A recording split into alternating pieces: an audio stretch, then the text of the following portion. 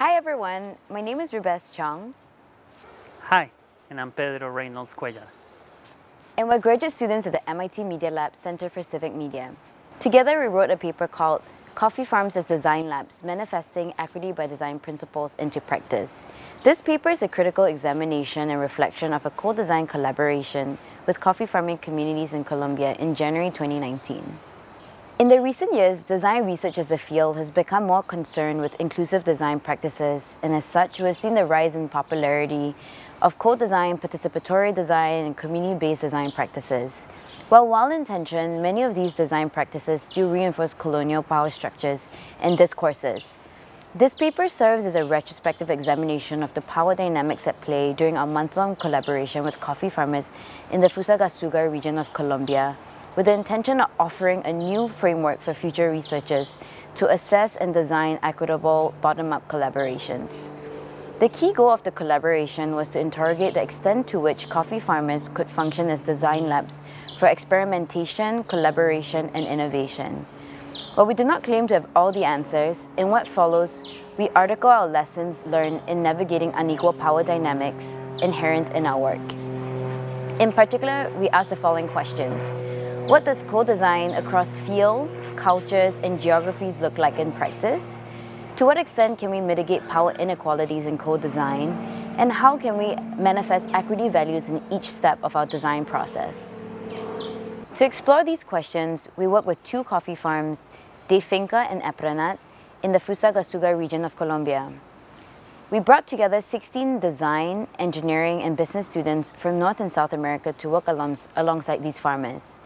De Finca and Aprenat are uh, both small-scale, community-owned coffee farms that grow, harvest, process, and package coffee beans. They've relied on locally designed technologies meant for small-scale production for years. However, many of these farmers were beginning to explore new ways to scale their businesses while bypassing the country's National Coffee Federation. The federation serves as a middleman between the, coffee, the farmers and, and cafes and consumers in the city. Farmers are often underpaid for their beans due to the lack of equipment, machinery, and processes to harvest and produce a consistent high quality of beans.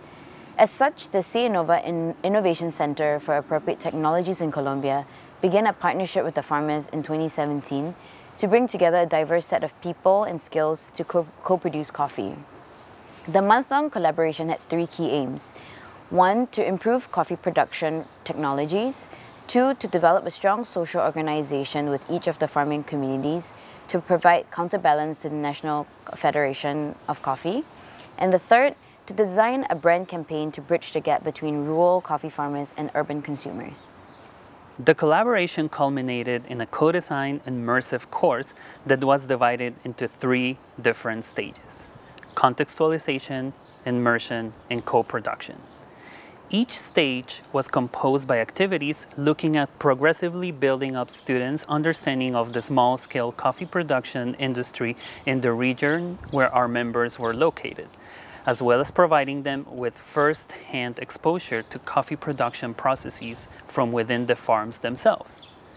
From a design practice perspective, the goals of the course were to introduce participants to a co-design methodology build solutions along with coffee farmers, and deliver prototypes in three domains, technology, marketing, and social organizing.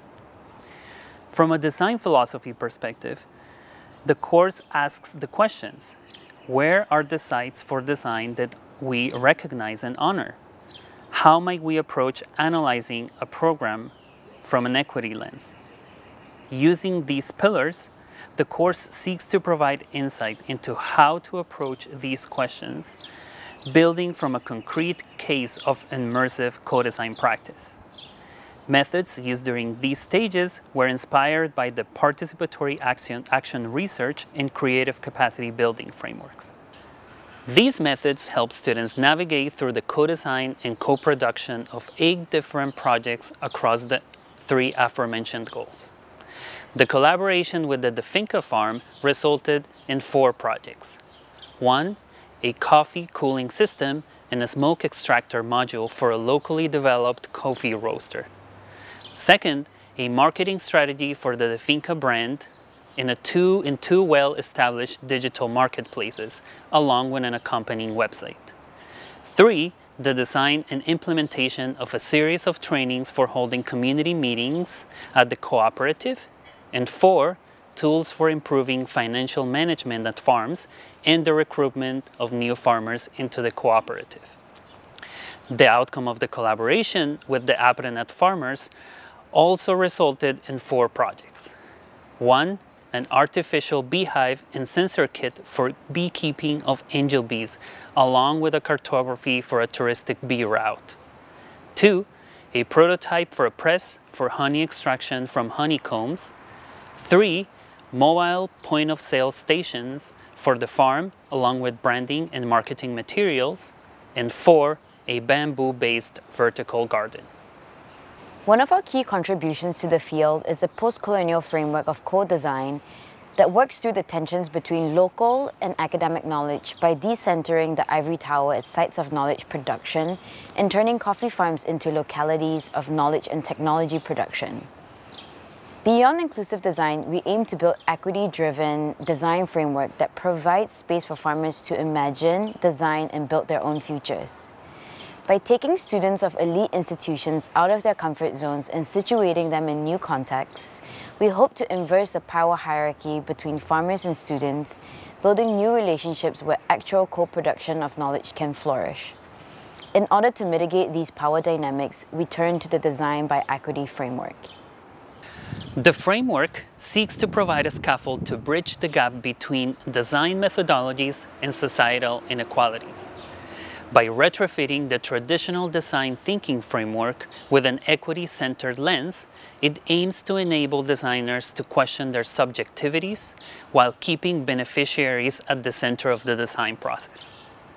The framework's pillars philosophies are learning to see, where historical context matters, be seen by means of radical inclusion, and foresee, seeing process as a product. These philosophies are then embodied in five design principles. One, design at the margins, where design happens as genuine communality, allowing for collective responsibility and innovative solutions between those who are privileged and those who have been marginalized to emerge. Two, start with yourself, a call to surface and be aware of our identities and biases. Three, seed power, asking us to revise how power is distributed, what dynamics it creates, and how we can seed it when appropriate. Make the invisible visible by surfacing hegemonic constructs, biases, and all other relevant intersections. And five, speak to the future. Without a history of equity, we are called upon forging a future built on different premises. To learn more about this work, you can refer to Christine Ortiz's work on leveraging identity development in the creation of an anti-racist, equitable design thinking process. We use the Equity by Design framework as a retrospective lens to analyze our course. Here is what we found. With regards to design at the margins, the course approached the principle by living and working alongside coffee farmer collectives, reversing the equation of the privileged being the educators and the underprivileged the learners. Ultimately, by framing coffee farms as design labs, we acknowledge the centrality of the self-determination project of these farmers associations. With regards to Start With Yourself, Although in practice the course structure supported the surfacing of identities, biases, and power dynamics, it lacked an explicit acknowledgement of historical and present intersectionalities, especially in the territories where farms were located. Moreover, it failed in intentionally inviting students to reflect on their own identities, biases, and power dynamics, and how those could come into play in the context of the course. With regards to seed power, the course sought to emphasize the centrality of local knowledge as the major source of power over academic knowledge. Ultimately, by legitimating the right to autonomy, the course takes a clear stance on this. We must, though, recognize that the ample use of English among participants and our failure to account for this language barrier bec became a way in which power manifested. With regards to make the invisible visible, there's two traditionally invisible dynamics that were surfaced throughout the course. First, a complex relationship between coffee farmers and Colombia's National Coffee Federation, a dynamic that revealed a hegemonic, dominant, and sometimes coercive relationship. Second, the divide between the urban and the rural worlds reflected in a gap of knowledge from urban citizens about the struggles of their rural counterparts. It is to be said that many other intricate dynamics are to be made visible. The course still has significant ground to cover in this regard. Finally, in terms of speaking to the future, we felt this was the principle that the course fell shorter. First, most of the narrative and focus of the course gravitated around the challenges of the past and the present. Although this decision is based on the intentions of our community partners, we recognize it is possible to honor this decision and still make space for future visioning.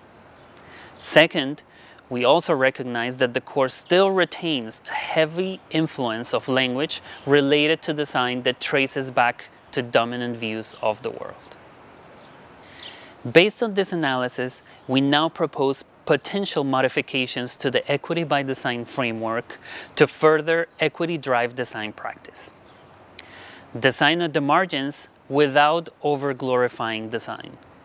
We call to recognize that although powerful as a tool for change, design cannot exist in a vacuum.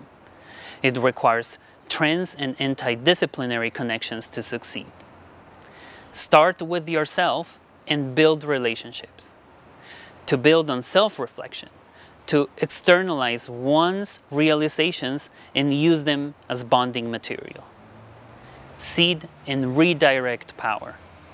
Beyond seeding power by acknowledging and neutralizing ways in which language can exclude, we can further redirect power. For example, by leveraging perceptions of institutional power from universities involved in the course and using them as a springboard to access relationships and resources. Make the invisible visible by listening to community wisdom, by which we mean the need to center communities' history and practice-based experience when unpacking complex dynamics. Who is centered when speaking the unspoken is as vital as the revealing itself. And finally, speak to the near and far future. We interrogate the impact of the difference in how time is perceived in different contexts, as well as the role of temporality when engaging in co-design collaborations. By nesting temporality under a future, we run at risk of failing to account for short-sightedness in these joint efforts and clearly define the lifetime of projects. This is an important variable, particularly for local partners. By studying co-design through an equity lens, we propose new ways to practice justice-centered post-colonial design practices. This is difficult work and requires commitment, time, and intentionality in building mutual trust with communities we're working with. It also requires a move away from the oversimplification, reduction, and corporate co-opting of design. For future designers looking to carry out equity-driven co-design collaborations, we offer the following three practical takeaways. One, to decolonize design as a practice by recentering local knowledges and practices. Two, to develop genuine and long-lasting relationships and partnerships with the communities. And three, to build immersive experiences for all participants, whether they are students, nonprofit partners, or the local communities themselves. All right, finally, we want to thank our community partners for their openness and the opportunity to let us learn from them. And we look forward to hearing feedback and any thoughts and comments are all welcome. Thank you and take care. Thank you.